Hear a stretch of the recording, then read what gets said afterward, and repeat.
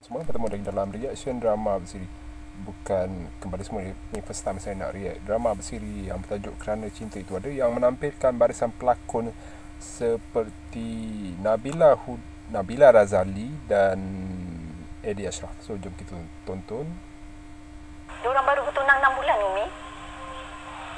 Aish perlukan masa untuk jadi suami. Kalau Iqmal tak mampu tunaikan impian Umi, kenapa Aish jadi mangsa? Kau tak setuju? Tak. Mami tak setuju sebab Aish pun tak setuju. Tok Mi pun takkan nak perempuan macam ni lahirkan keturunan Haji Sirat. Aish!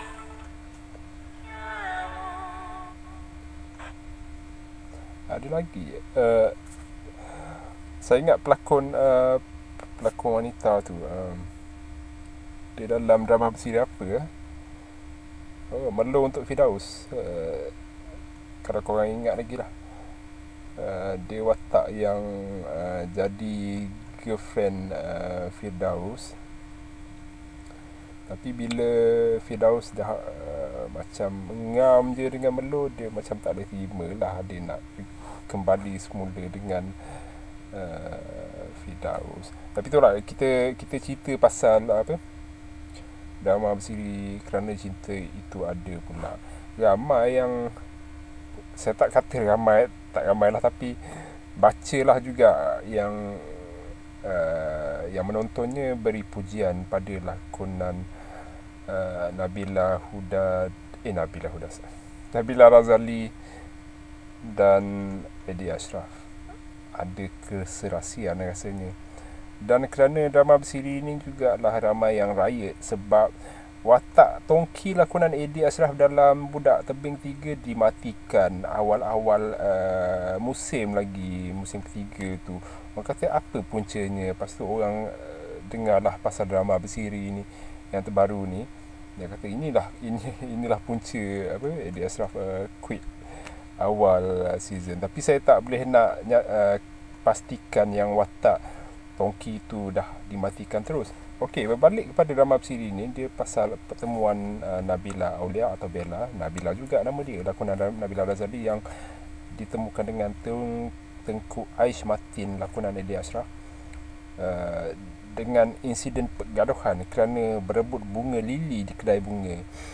Uh, Bella berhenti kerja di sebuah hotel dan pulang ke kampungnya. Tengku kalau nak bertengku ni orang kaya lah kot. Dah boleh agak dah. Tengku mengambil keputusan untuk mengambil alih hotel milik bapanya kan. Setelah terdengar perbualan Zafran dan uh, ibu tirinya Tengku Lydia uh, lakonan Syazwan Hasan dan Emilida Emilda Rosmila yang ingin membolok semua saham hotel bapanya. Keputusan ini telah membawa kepada pertemuan semula Ash dan Bella yang kini menguruskan resort milik keluarganya di kampung Villa Paksina. Paksina. So itu itu uh, awal awal episod yang saya boleh cerita lah pasal drama bersiri terbaru ni. Memang standard uh, slot Akasia. Akasia kan. Eh, Ayolah kot Slot Akasia uh, Yang mana memang Standard uh, Standard apa Soap opera Soap opera ni Memang target dia Untuk perempuan Untuk Sebab dia tayang ku tujuh. Ni untuk wanita yang uzur lah biasanya. Tapi kalau korang rasa timing ni tak elok Korang boleh tonton di Disney Hotstar streaming service ni yang mana lebih awal kadang-kadang dia tayang. So drama bersiri ni uh, sebanyak 28 episod semuanya dan mula tayang sejak 28 Disember dan akan tayang setiap hari. Maksudnya slot Akasia Akasia ni okey sekarang dah 3 episod. Uh, esok uh, episod keempat dan hari Ahad ni Sekejap